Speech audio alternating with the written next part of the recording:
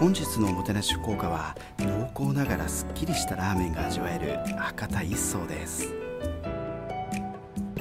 祇園駅から徒歩2分博多駅からも徒歩7分ほどの位置にあります。一層さんのお店の中では新しい方なんですが徐々に認知度も上がってきていてお昼時には行列ができます。通り沿いに面しているんですがお店に駐車場はないようです。裏手にはコインパーキングがいくつかありますが博多駅前に比べると割と安めです。一層さんといえばクリーミーな泡立ったスープが有名で根強いファンの方が多いお店です。こちらのお店はカウンターと少しテーブル席があり席数はあまり多くありません。券売機でラーメンを選択して席について待ちます。卓上にはニンニクとマッシャーも置いてあるのでさらにパンチを加えることもできます。黙々と湯気が上がっていて豚骨の香りがお店中に充満しています。ビールとハイボールがあるのでちょい飲みも可能です。ぐつぐつと煮込まれた豚骨スープが食欲をそそってお腹が空いてきます。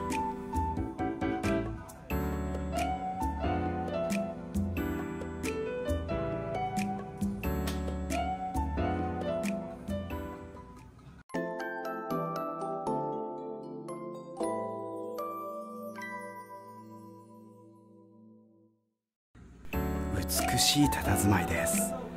ブクブクした泡の中には骨の髄まで煮込まれた出汁のスープが隠れています。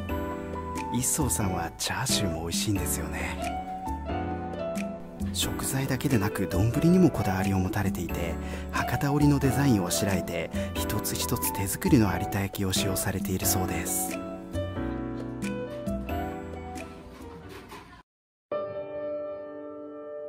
一層さんといえば行列ができるお店として知られていますが万人受けするラーメンではなく割ととんがりのあるラーメンを作るというお店のスタンスを持たれているようです。国産の小豚の骨だけを使い豚頭背骨げんこつをしっかりとした処理し高い火力で長時間炊き上げるスープは独特のうまみが出た濃厚な仕上がりです。麺は刑事さんで作られているオリジナルな平打ち麺で濃厚なスープがよく絡みます。ちなみに小豚を使用している理由までは分かりませんが一般的に生物が成長する過程で骨がどんどん石灰化していくので軟骨が多い小豚の骨を使用しているのかもしれません。ブクブクとろっとしたスープが好きな人にはたまりませんよね。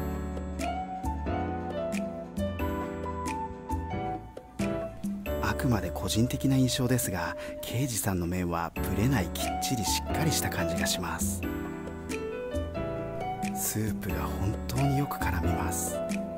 割と厚めでプリプリした感じのチャーシューです。泡がまとわりついてこれがまた美味しそうです。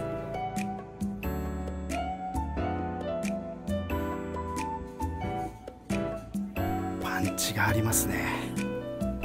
昔ながらのあっさりタイプとは真逆なラーメンです。